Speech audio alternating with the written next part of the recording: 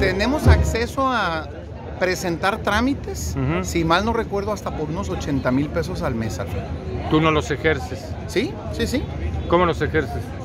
Normalmente en eventos como estos o ahí en la oficina hay personas que se acercan a solicitar un apoyo. Claro. Hay un procedimiento administrativo, una norma técnica y en tesorería califican los expedientes. Si califican, les dan el apoyo y si no, los regresan o les piden si falta algún papel adicional. Yo normalmente, las personas de mi equipo, quien se acerca a pedir algo, lo canalizamos. Hay meses que no nos alcanza, se acaba y hay que decirle a las personas que esperen un mes, es lo que hacemos. ¿Empleas asesores? ¿Asesores tienes? Sí. ¿Cuántos asesores tienes? ¿Cuánto ganan?